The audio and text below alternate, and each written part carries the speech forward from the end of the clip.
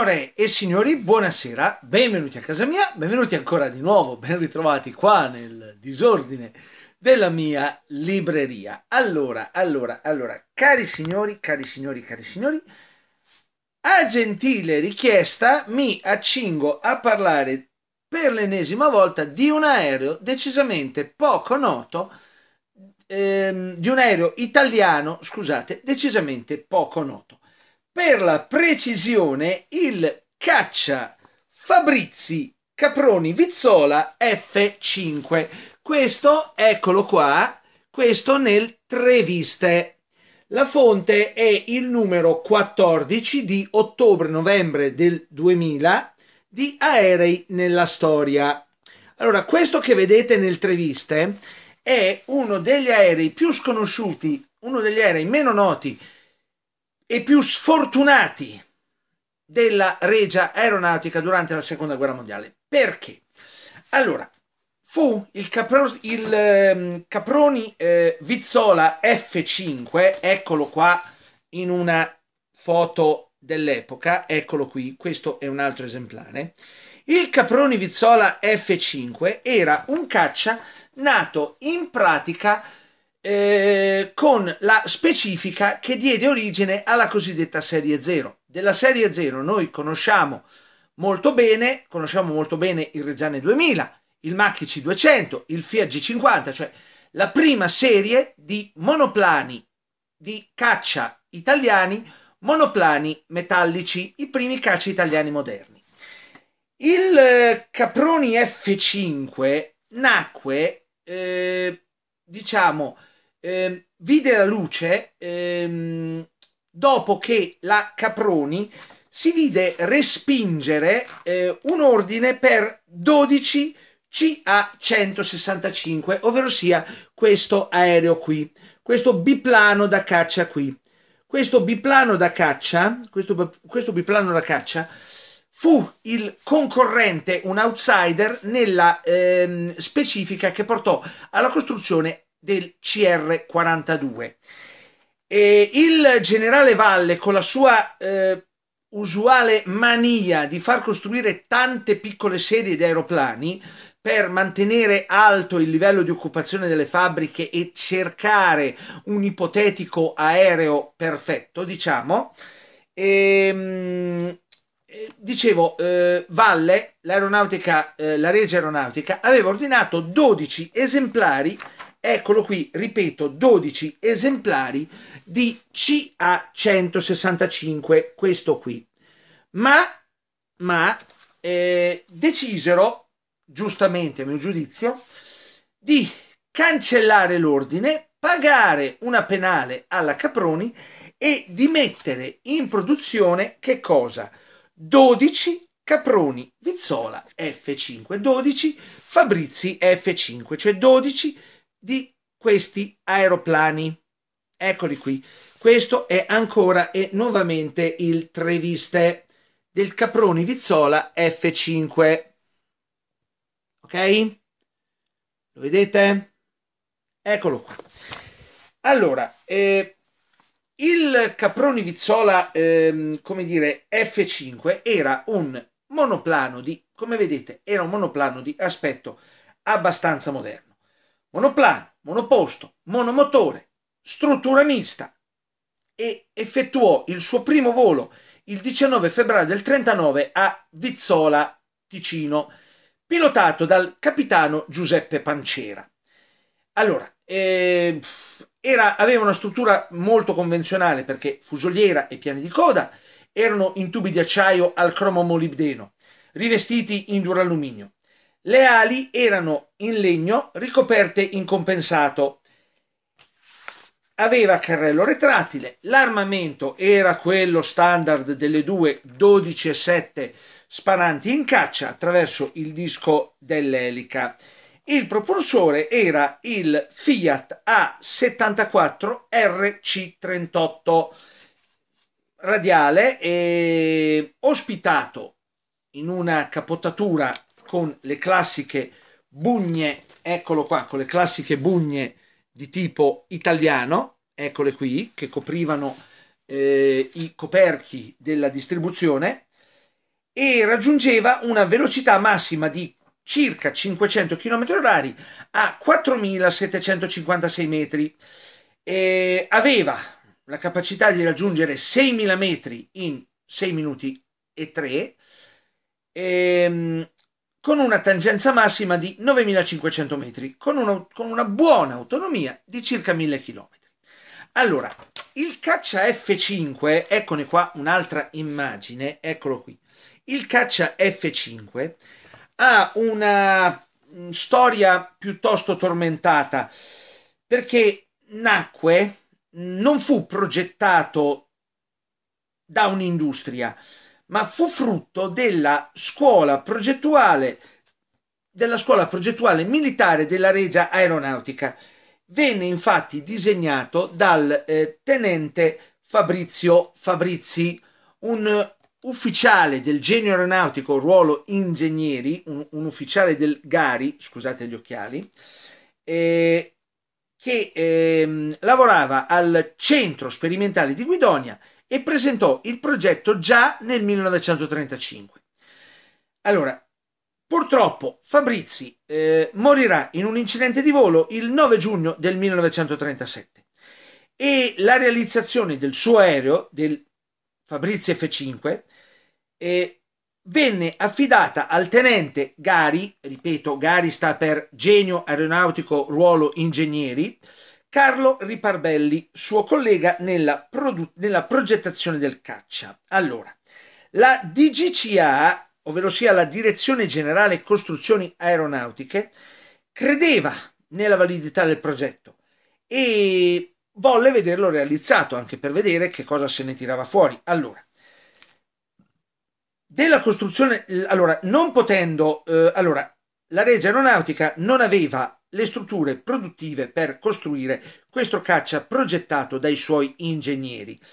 E eh, lo affidò alla Caproni Vizzola eh, dove venne seguito dal direttore tecnico l'ingegner Guglielmo Negri.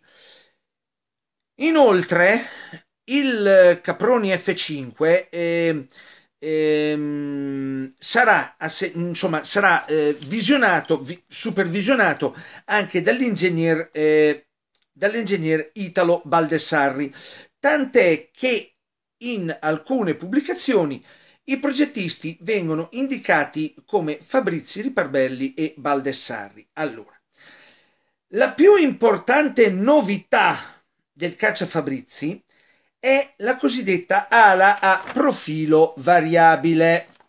Eccola, l'ala a profilo variabile. Eccola qui. Ok?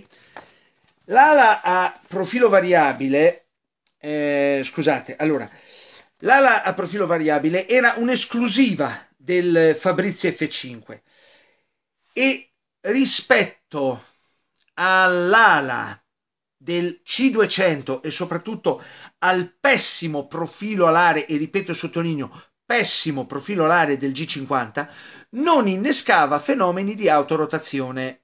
Sapete cos'è l'autorotazione, no? Che praticamente un aeroplano vola dritto e in certe condizioni di volo comincia a girare su se stesso.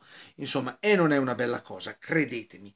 L'F5 non aveva i problemi di autorotazione che invece affliggevano il G50 e le prime, e le prime versioni del C200. Allora, eh, il prototipo, la matricola militare 392, fu valutato a Guidonia nel 39 ed era decisamente superiore al G50, cioè il Caproni Fabrizi F5 si rivelò essere un aereo molto superiore al G50. Eh, ebbene sì, ebbene sì.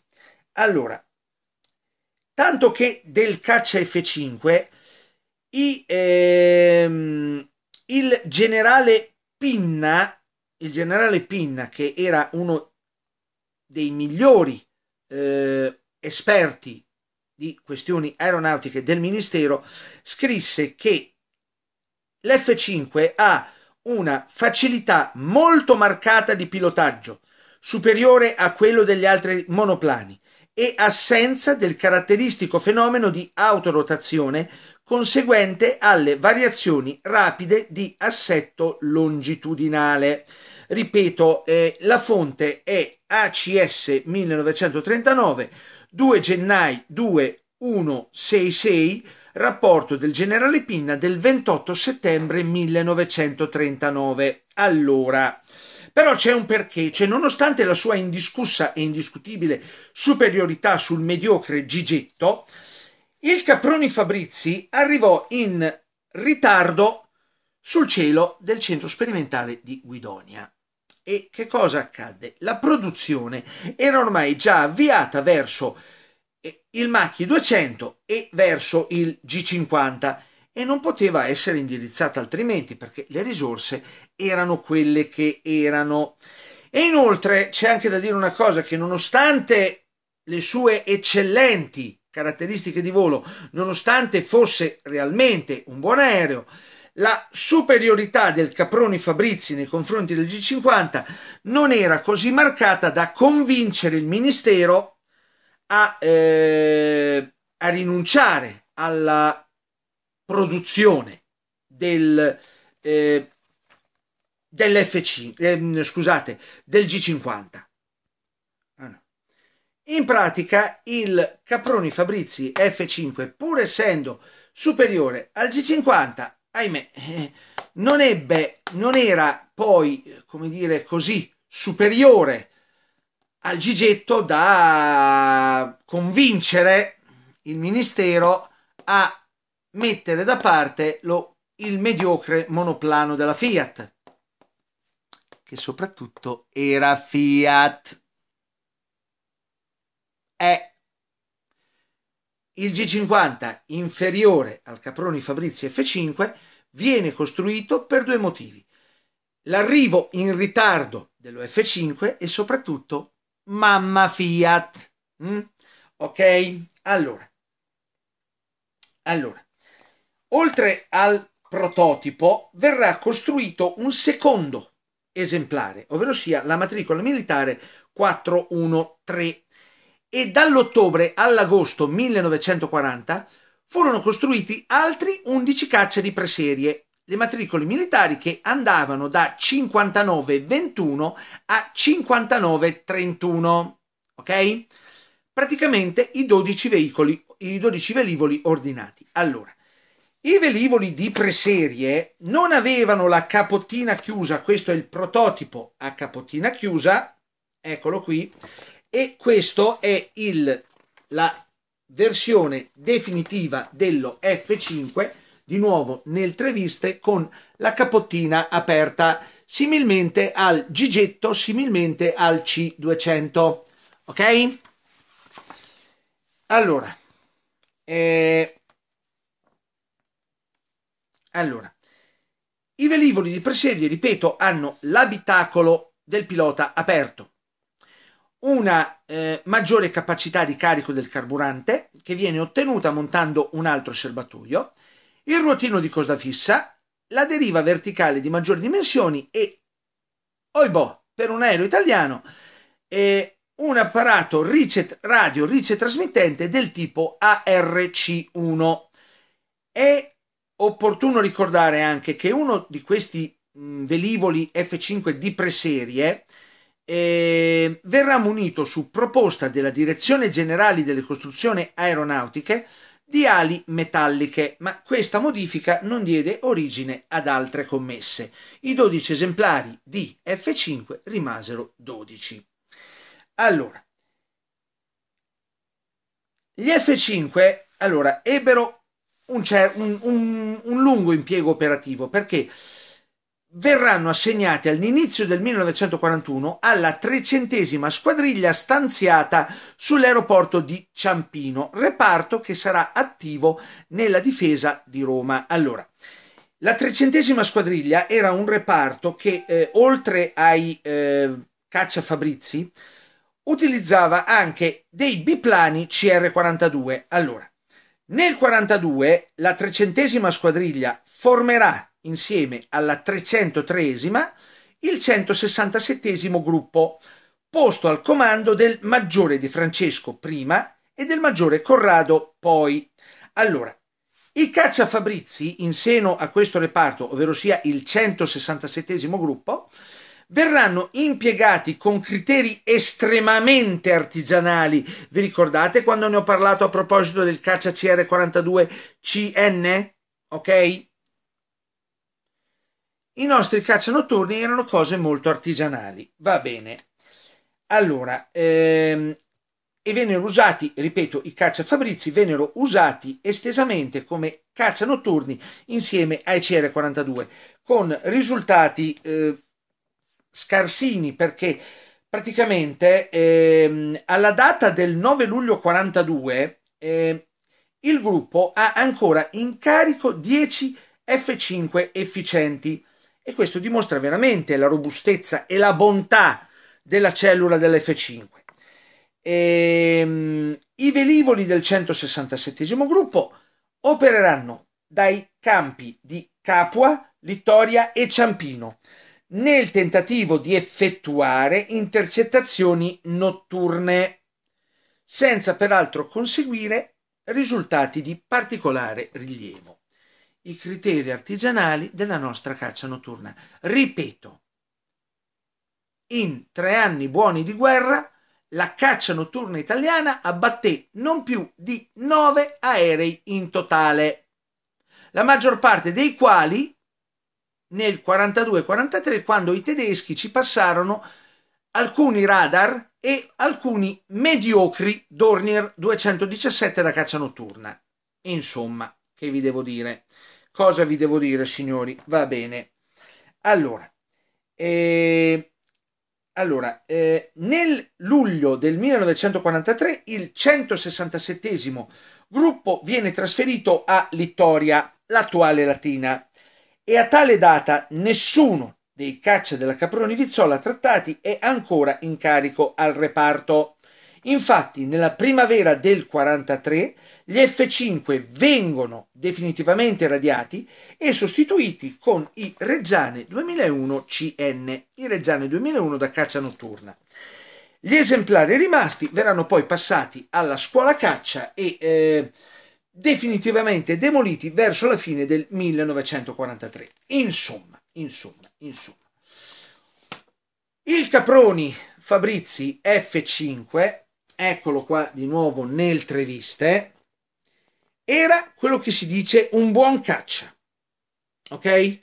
Robusto, robusto, facile da pilotare, dalle ottime caratteristiche di volo, estremamente robusto perché insomma diciamoci la verità, un aereo di costruzione mista, tra virgolette, all'italiana, ok? Ma che rimane in servizio per quasi due anni senza ricevere, senza ricevere praticamente mh, sostituti, ecco, senza essere mai sostituito, perché esistevano solo quei 12 esemplari lì. Eh, dicevo, i dati parlano abbastanza chiaro, l'F5 era un buon aeroplano, l'F5 si pilotava bene, l'F5 era un aereo molto migliore del G50 Gigetto, ma, ma, allora, a parte l'indubbio indubitabile e pesante impegno Fiat con il G50, ok? Il Caproni Vizzola F5, il Fabrizi F5, purtroppo aveva un problema. Arrivò tardi, arrivò tardi, cioè praticamente il prototipo fu pronto quando fu pronto quando G50 e C200 erano già stati ordinati. E non del tutto a torto oggettivamente eh, e insomma siamo sinceri ripeto eh, la Fiat aveva il suo enorme peso politico, economico e industriale nella scelta, nella scelta degli aerei da costruire. Ma in questo caso, oggettivamente, anche se superiore, ripeto, al G50, l'F5 arrivò tardi. Il prototipo dell'F5 fu costruito troppo tardi e quindi si dovette continuare con la produzione già impostata, già avviata dei G50. Cosa dire? Una delle tante, tante, tante occasioni perdute. Un aereo, ripeto, che volava bene, dalle ottime caratteristiche di volo, ma, ma penalizzato da, dai soliti mediocri, sfiatati motori di fabbricazione italiana, ovvero sia il Fiat A74 RC38 da 840 cavalli, eh, e penalizzato anche da un armamento decisamente scarso. In pratica, il festival dell'occasione perduta. Il Caproni, il Fabrizi F5 fu il festival dell'occasione perduta. Nel 1943, eh, nel 43 furono studiate delle varianti dei caccia Fabrizi con motore Daimler-Benz in linea e con l'abominevole Isotta Fraschini Z. Ve lo ricordate? Ne ho parlato più volte. L'aeroplano, eh, cioè, eh, scusate, il motore 24 cilindri AX raffreddato ad aria, quello le cui ultime quattro coppie di cilindri se andava bene grippavano, se andava male prendevano fuoco. ecco, vabbè, che vi posso dire? Allora, il discorso è sempre questo troppo poco, troppo tardi, un aereo eccellente che non fu fisicamente possibile mettere in produzione. Un po' per colpa di Valle e della sua mania delle piccole serie di aeroplani, un po' perché oggettivamente arrivò troppo tardi ed era già stata impostata la produzione del G50. E il G50, anche se inferiore all'F5 era già disponibile e soprattutto era made in fabbrica italiana Automobili Torino. Tutto qua. Quindi, cari signori, io vi ringrazio come sempre per l'attenzione. Questa è un'immagine, eccola qua, questa è un'immagine dei caproni F5, dei caproni Vizzola F5 da caccia notturna. Ripeto, criteri estremamente artigianali, criteri estremamente artigianali, aerei arrangiati, eh, tattiche pressoché inesistenti per ottenere nove vittorie durante tutto l'arco del conflitto. Insomma, cari signori, il Caproni Vizzola F5 poteva essere un buon aereo, avrebbe potuto fare molto di più, ma ahimè non fu possibile. Eccone qua un altro esemplare, questo è il prototipo originale, la matricola militare 392 sul campo d'aviazione di Vizzola Ticino con la capotina originale chiusa. Ok? Ripeto, poteva essere un eccellente aereo da caccia, rimase un'occasione perduta. Caproni Vizzola F5. Quindi, cari signori, come sempre vi ringrazio per l'attenzione, come sempre arrivederci al mio prossimo video. Grazie a tutti voi, buonasera e soprattutto ciao!